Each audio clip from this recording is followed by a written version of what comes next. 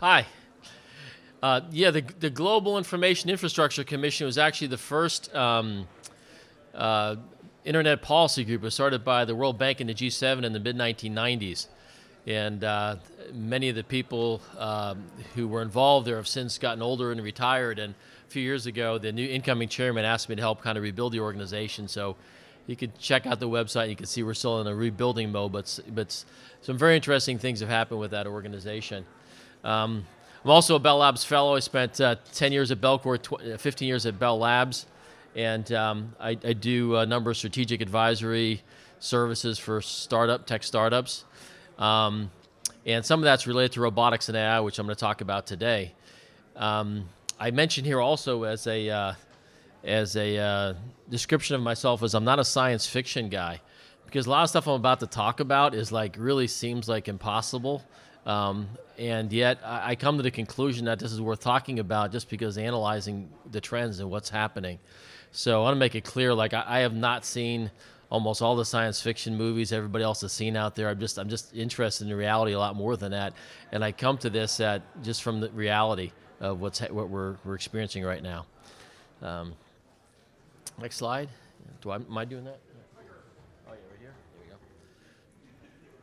So, cloud ro- uh, ro- robotics. What is uh, what are cloud ro- robotics? Well, uh, cloud robots are machines that are going to be doing things that we don't want to do, and doing things that we can't do. So they could do things better than we could do. Kind of like a calculator could do, you know, very complex division that you know we can't do that easily.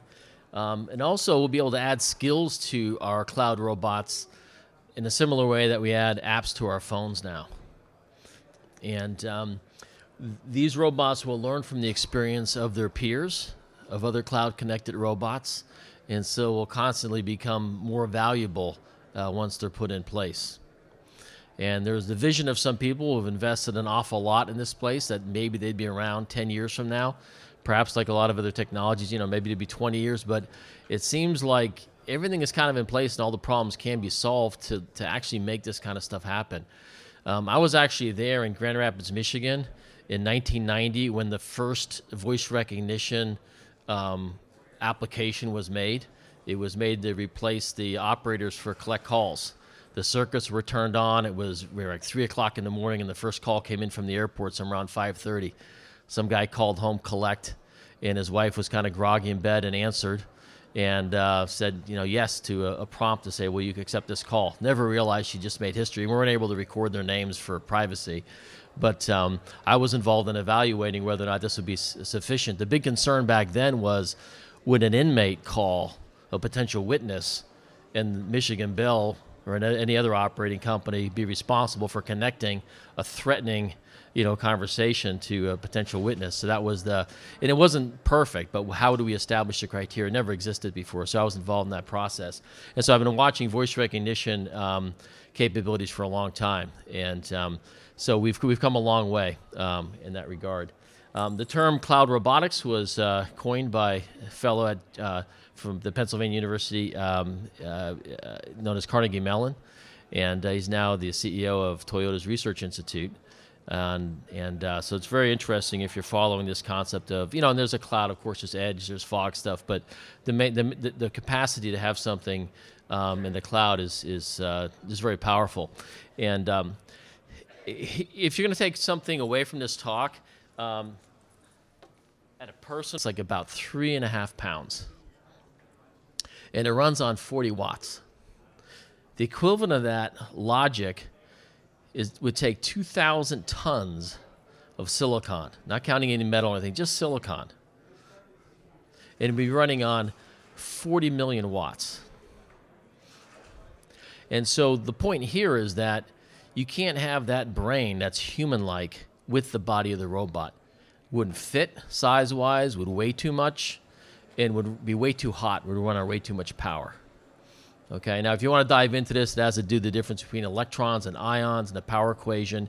You remember you're squaring current, and um, you know that's why you get a million times difference because of the the amount of current that's associated with it. So if you look at the power equation, um, um, in fact, there's an article by uh, Bill Huang, former Bell Labs colleague. Um, he's also a commissioner at GIIC, but it's a very short article in Scientific American. He goes into some of this, uh, some of the, the basic physics behind why, um, you know, the brain, a computer, uh, a, a, robot brain would need to be, you know, displaced from the body of the robot. That really cool stuff you see with Boston Dynamics. There's usually a guy standing about 10 feet away with some kind of controller controlling it. The robots are really impressive mechanically, but they're really dumb. They can't hardly do anything by themselves.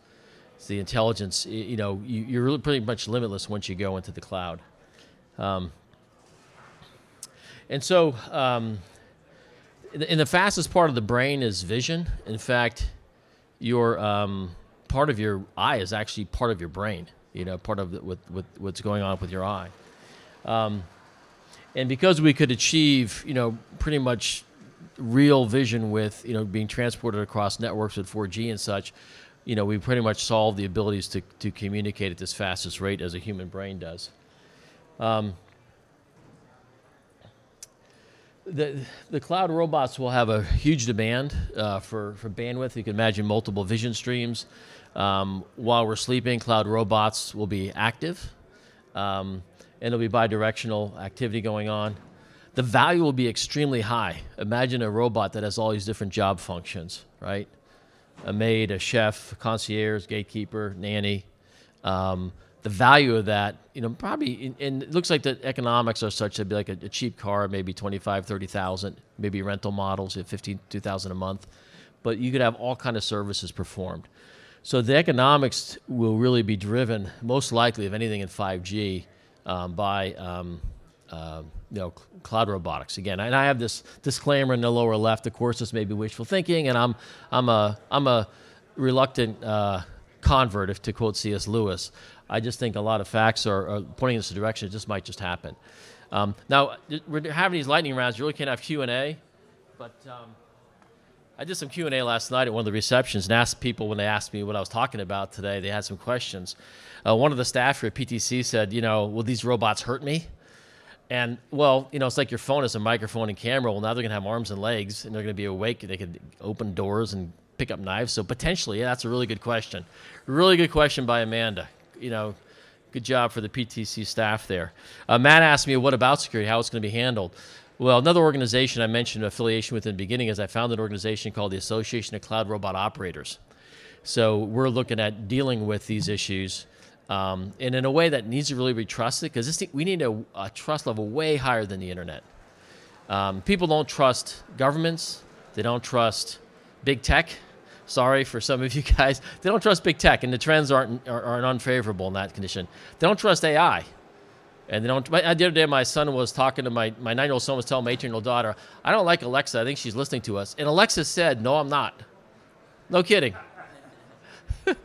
um, but so we are really starting an organization that has no benefits to big companies and a lot of startups and stuff. But if you want to be involved, I'd love to have people involved. We're creating. Um, as best possible standards and processes, protocols, best practices to make sure the interfaces between robots are safe. So when you download the ability to for your robot to do some kind of special service, crack an egg, make an omelet, make a dinner, um, it's not going to do something dangerous when it downloads it. And you know, if you show up at someone's house with your kids and their and their robot is an Acrobot, it's compliant with Acro, it's going to be safe. Uh, the third question I got, you know, it's Four's too many, two's too few. So the, the, number three here. I got a question from a guy named David. Uh, I think you're in that conversation. What's a use case needs for 5G? And um, you know, why can't we do it with the stuff we've got now? So you imagine a robot in the kitchen, and somebody says, "Hey, I got, I got this great recipe. Had this great recipe last week, you know, at this PTC conference, whatever, some kind of meal for chicken. And the robot could determine what's in the refrigerator, if there's any food sensitivities, what ingredients are needed, vision going on between who, who's, who they're seeing in the room, what they're seeing in the refrigerator, and analyzing how we can uh, access other ingredients that might be needed. Um, a lot of vision streams, and for that to be a human-like feeling and not like uh, something that's going to make us feel more impatient and frustrated. You know, 5G could really allow that kind of thing to happen, like we never had before.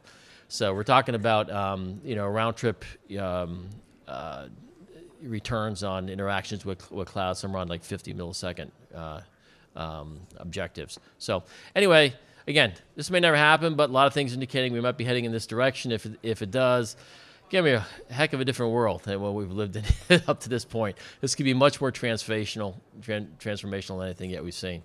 So, you got any questions? Love to talk to you some more about it. Thanks.